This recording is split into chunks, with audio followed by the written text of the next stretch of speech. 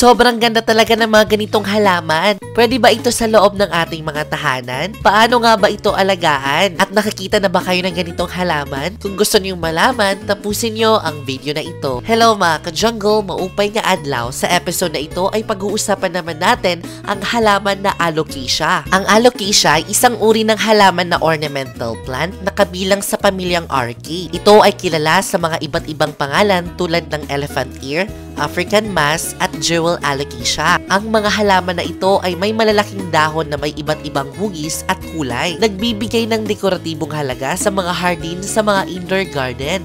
Kaya naman pwede ito sa loob ng ating mga tahanan. Alam niyo ba mga ka-jungle na ang alocasia ay karaniwang matatagpuan sa mga tropical na lugar tulad ng Timog Silangang Asya at South Pacific. Ang mga dahon nito ay kadalasan malalaki, pabilog o puso. Ang kulay ng dahon ay maaring berdi, puti at iba't ibang kulay na tulad ng mga itim at pula at abo. Alam niyo ba mga ka-jungle na ang alocasia ay isang mahalagang bahagi ng mga tradisyon na gamot ng Chino at inyong gamutan. Ang mga ari-arian ng halaman na ito ay sinasabing potensyal benepisyo sa kalusugan tulad ng anti-inflammatory at antibacterial properties. Gayunpaman, mahalaga pa rin mangyari lamang ito sa ilalim ng gabay ng ilang professional na doktor. Kaya hindi ito advisable mga ka-jungle. Sa sinaunang panahon lang yon. Bilang isang halamang ornamental plant, ang alocasia ay kadalasang itinatanim sa mga gilid, paso at sa mga lalim ng lupang lambat at nagbibigay ito ng sapat na tubig at liwanag. Ito ay karaniwang inaalagaan bilang isang indoor plant sa halip na itinatanim ito sa direktong lupa. Ngayon pa man, napakalaki ang ilang mga uri ng alocasia kaya mahalaga rin itong magkaroon ng sapat na espasyo para sa kanilang paglago. Ang alocasia isang magandang halaman na nagbibigay ng dekorasyon at likas na kagandahan sa anumang instruktura ng hardin. Ito ay maaring magdulot ng isang tropical na saklaw at makapal na buhay sa inyong mga taniman. Pero ang tanong ng karamihan, pwede nga ba ang alocasia plant sa loob ng ating bahay o tahanan? Oo mga ka-jungle, pwede kang mag-alaga ng alocasia plant sa loob ng bahay. Ngunit dahil ang alocasia plant ay isang tropical plant, kailangan nila ng sapat na liwanag, magandang lumigmigan, at mainit na temperatura upang mabuhay. Iwasan ng masyadong malamig na lugar at pagtiil ng ilaw dahil maaari makaapekto ito ng paglago ng halaman at mga dahon nito. Dahil din sila ay moisture-loving plants, kailangan mong irregular ang pagbigay ng tamang halongmigan sa kanila. At alam niyo ba ay yung iba ay nahihirapan mag-alaga nito dahil hindi daw gumaganda ang kanilang mga alocasia. Ang tanong ng karamihan, paano nga ba mag-alaga ng mga alocasia plant? Ang pag-aalaga ng mga alocasia plant ay maaaring sumusunod na hakbang. Una, ang tamang lugar. Yes po mga ka-jungle, ilagay ang alocasia plant sa isang lugar na may mabuting kalagayan ng liwanag, maingat na isara ang mga bintana para hindi ito mabulok. Pangalawa naman, ang lupa. Yes po mga ka-jungle, piliin ang tamang uri ng kategorya ng lupa para sa alocasia plant dahil dapat ito ay malambot, may mahusay na pagkatuyo at drainage, maaari itong maging isa sa halo sa lupa at buhangin. Pangatlo naman ang tubig.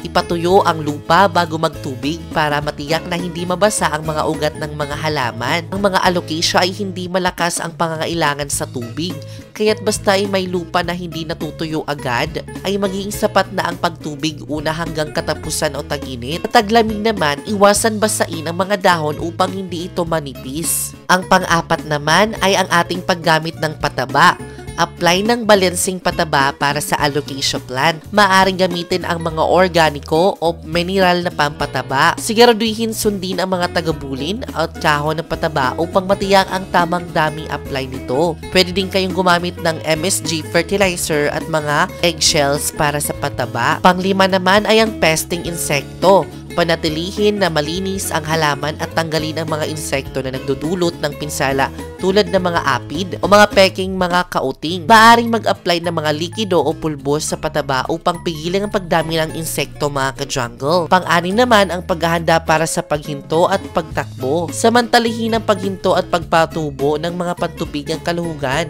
Ihalo ang lupa at buhangin sa isang malilim na baso. Gawin ito sa makatuwiran upang maiwasan ang pag-init ng pagtatanim, kunin ang mga painim at mga tahin. Sa karagdagan, bakit nga ba napakaganda ang alocasia plant at maraming nahamulig ito? Ang alocasia plant ay kadalasan kinagigiliwan dahil sa mga susunod na dahilan.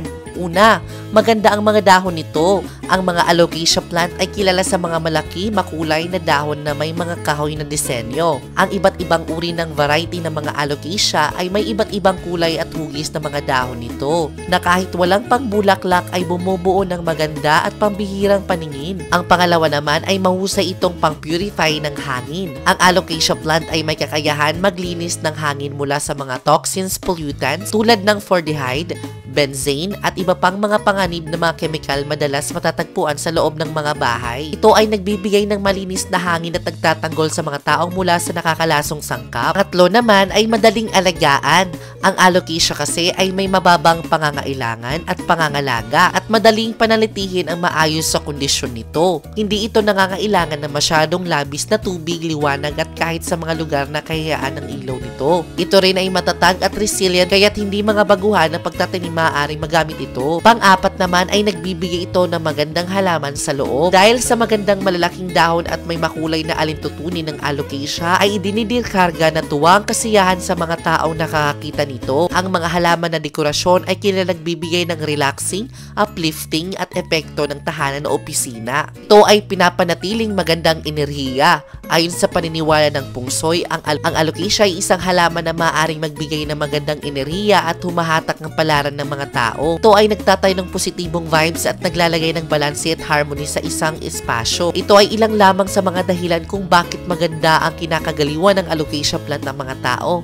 Ito ay isang magandang halaman, pampalamuti at maaaring magdulot ng iba't ibang benepisyo sa pangangailangan at panlasa ng mga individual. Kung itatanong niyo mga ka-jungle kung gaano kaswerte ang ating mga alocasia plant, yes po mga ka-jungle ang alocasia plant ay may reputasyon bilang isang swerteng halaman. Ang mga dahon nito ay nagtataglay ng kalaw humigmigan at nagbibigay ng kagandahan sa paligid.